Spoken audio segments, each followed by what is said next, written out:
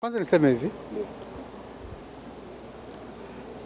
napata kigugumizi sana kumjibu rafiki yangu Rostam, lakini Rostam ni mchumi.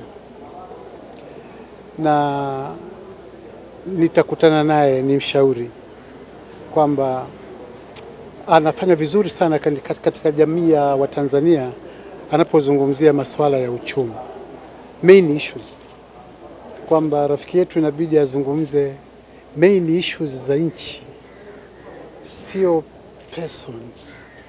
Hizi tunaachia watu wa chini huko. Kwa level yetu ni kuzungumzia masuala ya kitaifa, masuala ya uchumi. Kwa nini uchumi wetu upo hapa ulipo? Kwa nini wafanya biashara wadogo na wakubwa wanafunga biashara zao au zile alizozieleza kama economic distortions ni zipi na tunazi, tunazi plug vipi?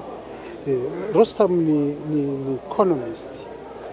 Sasa huo ndio ushauri wangu kwake kwamba ajiaddress, he does, he does better anapojiaddress na masuala ya uchumi na asijaribu kuwa more Christian than the Romans.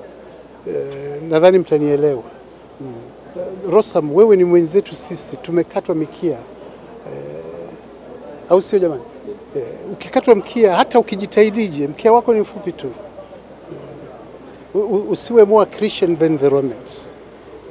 Eh, na tunayoyazungumza ni vizuri tuwe consistent, tunayoyazungumza kwenye dhamira yetu na tunayoyazungumza mdomoni, tuwe tunazungumza kitu ambacho binadamu anatuheshimu na namshauri tena Rostam. Rostam ni mchumi mzuri sana.